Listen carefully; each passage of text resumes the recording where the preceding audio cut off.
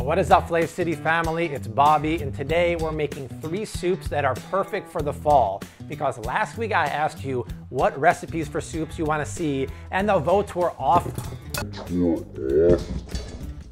charts. Just like this is off the board. So Jesse and I compiled the winners, and we're gonna make them today. And by the way things are going now, it's gonna be a wild and crazy video. So I hope you're ready for roasted butternut squash soup one of my all-time faves with maple syrup, sage, and tons of vegetables, a spinach, quinoa, and lemon soup that is so easy to make, and my wife's famous lentil soup, which is crazy easy to make but has so much flavor. So if you love healthy recipes that are so easy to make, hook a brother up and subscribe to my channel. I'm rocking out new videos every Friday morning and I would love for you to join the Flav City community. Starting first is honestly one of my favorite and oldest soup recipes ever, a roasted butternut squash soup. And because I like all 10 fingers to be intact, this is my favorite way to break down the butternut squash. Just use a rolling pin to tap the knife right through the center of the squash and then use your knife to carefully peel away the outer skin. Now I'll admit it's a little bit of a pain in the butt to peel this guy because you don't want to take too much of the flesh away, but you can't use a vegetable peeler. I've tried. So if you know a better way to do this, please leave a comment down below because I would honestly love to know. And then use the old rolling pin trick one more time and scoop out all those seeds. And make sure you guys save these seeds. You could roast them in the oven with a little bit of olive oil, salt, and pepper, and they make a killer snack. And then cut everything into large cubes. And then transfer your cubed butternut squash to a sheet tray. And by the way, I'm preheating my oven to 425 degrees right now. Before I toss these suckers in there, I do wanna season them so they get really roasty and golden. So I'm gonna drizzle over two teaspoons of olive oil, pinch over a half a teaspoon of salt, and a few cracks of black pepper. And then give it one good mix up with your hands. Now pop these guys in the oven for 25 to 30 minutes. While the squash is roasting, let's get on with the vegetation portion of the soup. So in this bowl, I have onions, carrots, and celery, and I'm preheating a soup pot over medium-high heat. If you don't have a soup pot, get one. This one is amazing. It's cast iron. It fits a lot of liquid in there. I'll put the link down below, but you could even get a cheap metal one. You just have to have a big vessel to make these kind of soups. Go ahead and drizzle in two teaspoons of olive oil and add the veg to the pot. I feel like all good soup recipes start with onions, carrots, and celery. It's just a base for all things delicious. So give that a good mix up and then I'm gonna sprinkle over about half a teaspoon of salt and a few cracks of pepper. Now a couple of the soups that did not make the cut for this round of videos was my uh, potato leek soup and my ramen soup and my roasted tomato and basil soup. But if this video goes well and you guys love it, just let me know if you wanna see more and we'll do part two of fall inspired soups. I'm gonna let that cook for about eight minutes so a lot of the moisture gets sucked out. Now is the time I wanna reach for three cloves of garlic that I finely minced add that. And for a little bit of spice, some red pepper flakes. All right, I'm gonna let that cook another few minutes. And then is there any other ingredient you could think of that screams fall more than fresh sage? Desi, what's more fall than sage? Butternut squash.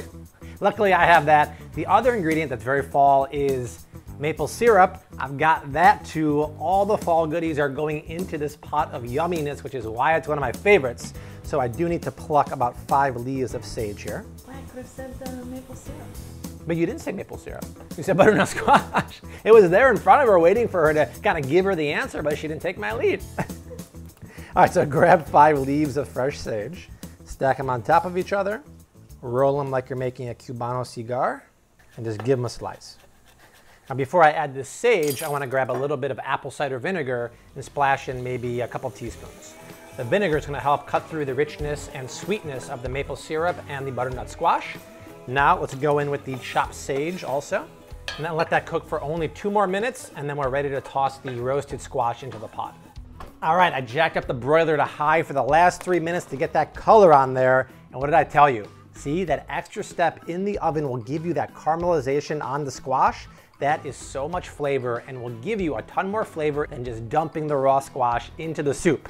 You know I want you guys to eat flavorful food, so do not skip this step. Now very carefully, everything's hot, transfer the squash into the pot, like these pieces right here.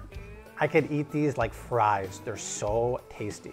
All right, now to reinforce those fall flavors, I'm gonna take some maple syrup And don't be grabbing no Aunt Jemima stuff out of your pantry. Get the real deal maple syrup. Go in with about a tablespoon and a half. And then you could use water for this soup because there's so much flavor going on that pot right now. But I always reach for low sodium chicken stock. Desi, why do I do low sodium? You can salt amount salt Desi, You can also use vegetable. you can use vegetable stock, but Desi's only heard me say it a million times, whether it's veggie, chicken, or beef, low sodium because you want to control the amount of salt in the dish. I wish you could have seen Desi's face when she said that. I'm like a broken record. She's heard all my lines at least 150 times. So I'm gonna start with a quart and a half. All right, that's one and a half. Now I wanna bring this big pot of goodness to a boil. All right, the pot is boiling. I'm gonna move it to the back burner for 35 minutes because we need room for the next one. Now, if you're wondering what this bubbling pot has been over my shoulder the whole time, this is beef bone broth. If you follow me on the Flav City Instagram or Snapchat stories, you'll see that I make this all the time. This stuff is so good for you. It's good for your gut, for your immune system, for your skin. What else, Desi? The bones and collagen. It does take 12 hours to make, but it's worth it. And we have a batch for the whole week. Perhaps later on in a few weeks, we'll make one of those too. But in the meantime, it's time for Desi's famous quinoa, spinach, and lemon soup. Ah, all right, I've got another pot of boiling liquid here. Between this and the other two pots, I think I'm gonna be in a sauna here, sweating all over camera. But this is two quarts of water I'm trying to bring to a boil here. A watched pot never boils, and I've been watching it, and it hasn't boiled yet. But in the meantime, I have two six ounce bags of baby spinach. It might seem like a lot of spinach, but it's gonna wilt down to almost nothing like spinach always does. Let's go ahead and add that to the pot. it's hot. Then go in with a teaspoon of olive oil. Desi says more, okay. Make that two teaspoons of oil. What next, Des? Salt and pepper. Okay. Let's do a teaspoon of salt and a few cracks of black pepper. Now, this is one of those soups that's totally deceptible because it's a water-based soup with only a few ingredients in it. And the first time Desi made it, I was very skeptical, but it has so much flavor and it's so easy to make. We make it all the time now. Well, Desi makes it, but today I am making it, so hopefully I can do her proud. All right, bring this to a boil, reduce it to a simmer, and I'll cook this for 20 minutes.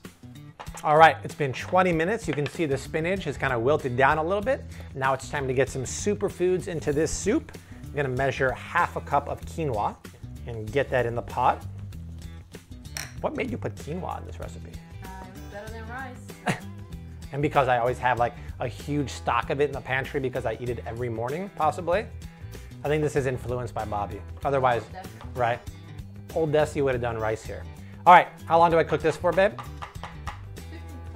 15, 20 minutes. All right, 15, 20 minutes back on the clock. Let's get my continue lifting in here. I'm gonna swap out this pot for the butternut squash. I think that one is ready. All right, somebody tell me when this pot is boiling. It's getting really, really hot in here. The sweat is coming down, but it's worth it because these recipes are so worth sharing with you. This has been bubbling away for 35 minutes, and look at the consistency, you guys. It's kind of thick. The color of the soup is that brilliant orange butternut color. Now, to make this soup grandpa approved, nice and smooth on his gums, I'm breaking out my immersion blender. Now this is great because you don't want to transfer this stuff to the blender, ideally, because it's very hard to blend hot liquids. If you do it, only fill it halfway and put a towel over the top because hot liquids have a way of exploding out of the blender all over your face and it hurts like a biatch. So, if you don't have one of these immersion blenders, I'll put a link down below. They're like 20 bucks. And look how easy it like. Some people call this a motorboat. And yes, it kind of looks like that and sounds like it, but just keep going until the soup is super creamy. All right. What do you think of that texture, Des? That looks good, but we have to check it for seasoning because I guarantee it's gonna need more salt. It always does. Wow, the texture is so creamy, which is crazy. There's no dairy, no cream in there. It's just all that natural goodness blended together. But yes, it does need another little pinch of salt and one last stir. Now you want this to be a thicker soup, but you could always thin it out with a little more chicken stock. And this is one of those soups that gets better the second and third day, so you're gonna love this recipe. All right, this is done. Let's finish up the spinach and quinoa soup as soon as that quinoa is done boiling. All right, The quinoa is almost boiled, but in the meantime, if you're new to my channel, normally I do healthy meal prepping for the week with a focus on weight loss. I have 48 of those videos, so after this one, make sure you check out the other ones. Now to finish this soup is Desi's famous touch. In this bowl, I have two eggs. I'm gonna add the juice of one lemon to that. And Desi, what's the uh, word for this called? In Bulgarian, it's called destroyka. Zastroika. I just love that word. So add the juice of one lemon and then whisk it up. I guess the equivalent would be like maybe a Greek egg, egg drop soup. No, we're just going with There's no equivalent. It is uniquely Bulgarian technique. Zastroika. There is no other besides Zastroika. Well, typically we add a, a couple of tablespoons of yogurt. to Oh, that's right. Yeah, I want to make this dairy free, but you could add a couple tablespoons of Greek yogurt to this. But another technique Desi always does here is take another bowl with a strainer over it and then pass it through the strainer. And Desi, why am I doing this? I love how I have no idea what I'm doing. Like, Desi, please explain why I'm doing this. Yeah, I see them. If you see in the strainer here, it kind of catches the big chunks of uh, egg whites in there. And it'll, Probably because you didn't beat it very well. Thank you, Desi. All right, I'm gonna kill the heat. It's been about 20 minutes. Now you always know the quinoa is done when the seed unravels. Let me show you. See how that little tail is kind of hanging outside now? That's when you know it's done. But it always takes about 15 or 20 minutes. All right, so that's done. Heat is off. Desi, what's next? Temperate. Temper the egg yolks, okay? Do you know how to do this? yes, Desi. I think I can figure out how to temper the egg yolks. Thank you for asking. We don't want to make scrambled eggs. Use a ladle and just grab a little bit of the cooking liquid here. Now, keep whisking and stream in a little bit of the liquid. You have to keep whisking pretty hardcore here, otherwise it's gonna get scrambled. And what we're doing is we're slowly bringing the eggs up to temperature, then we could dump the whole thing into the pot.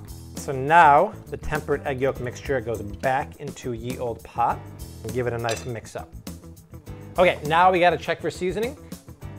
Come on, don't be shy. I need some salt. It does need some salt, but it does have a good lemon flavor. So I would say a good teaspoon of salt in here and some fresh pepper. How's the lemon flavor for you? Maybe a little more. lemon. More lemon, right? These were very small lemons from Trader Joe's, to be fair, but a regular size official lemon should do the trick. Last but not least, let's move on to Desi's famous lentil soup. Crazy, crazy easy to make, but always a winner around the house. Bring two quarts of water to a boil, then go in with one cup of lentils, one carrot that you roughly chopped, one small Yukon Gold potato that you halved, and five cloves of garlic. Then add half a teaspoon of sweet paprika and half a teaspoon of dried thyme. Drizzle in two teaspoons of extra virgin olive oil and season it with 1.5 teaspoons of salt and a few cracks of black pepper. Bring that to a simmer and cook it for 25 minutes. Now grab all the veggies out and place them in a bowl. Add a little bit of the broth to make it saucy. And then use your immersion blender or a blender and blend everything till it's nice and smooth and creamy. And then add that back to the pot. Check for seasoning and you're done. And the only thing that can make this lentil soup better is a little garnish of parsley, just so I can tell the color difference from the butternut squash, which by the way, you can do this with black lentils, green lentils, yellow lentils, brown lentils, mix it up. You don't have to do the color coordination like we do. Let me get myself one sample of this. Ah, we got the wrong pipe. How do you choke on soup? Is that even humanly possible? On your head. All right, choking aside, that's awesome. It's just such a simple recipe. It's a classic Desi recipe. If you want all three of these, the recipes are down below in the description box along with the macros, storage instructions, reheating instructions, all those good stuff. Hey, it's so hot in here. It's like 90 degrees. This pot of bone broth has been going for the last 10 hours. It still has another four hours. We have three more pots in here. I'm schwitzing my tuchus off in here. So subscribe to our channel if you want to see two more healthy and delicious meal prepping recipes. Check out the ones below. We gotta go. I'm gonna pass out. I'll see you next week. Until then, hashtag keep on cooking mad love. Peace.